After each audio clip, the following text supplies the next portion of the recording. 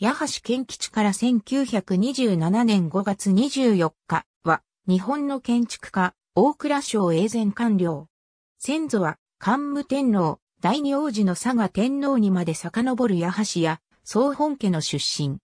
明治建築界三大巨匠の一人とされる、大蔵省永前の総元締めとして、絶大なる権力を持っていた、妻木頼中の片腕。国会議事堂、旧総理大臣官邸、枢密院庁舎などが代表的な作品、近代公共建築の中心人物。死没日をもって、軍に当局日、重光明受賞、信正蔵くらい。美濃国府和軍は赤坂村出身。父は総本家当主、八橋東十郎。母は、八橋宗太郎次女将後改め行くよ。八橋徳次郎は、県吉の長兄、八橋為吉は自警。総本家初代、東十郎の長男宗四郎が総本家を継ぎ、東十郎を襲名、県吉の長兄徳次郎へとつながり、また一方伊尾徳四郎は、サブロベイとして文家の後、本家となり、赤坂の祖父家、八橋宗太郎へとつながってその長男、八橋慶吉が本家を継ぎ、さらに慶吉の弟良吉が南八橋として分家し、明治34年代理石業を創始した。慶吉、雄吉、良吉は一族であり、本家の人でもある。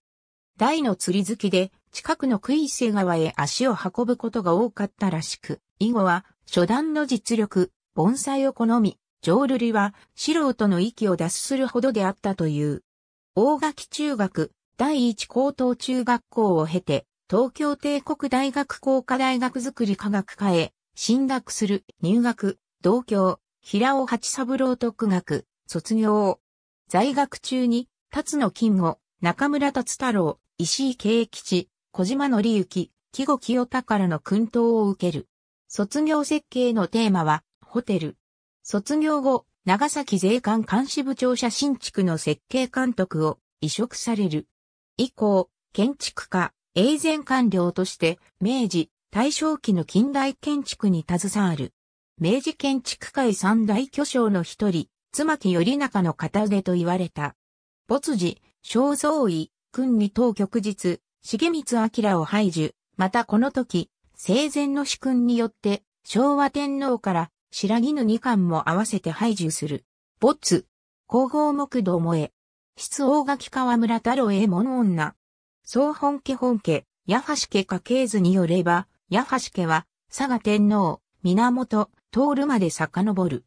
東園、所幾太郎大蔵省など、組織の仕事については、八橋の部下が設計したものを含む。国会議事堂石川県庁舎級山口県庁舎。ありがとうございます。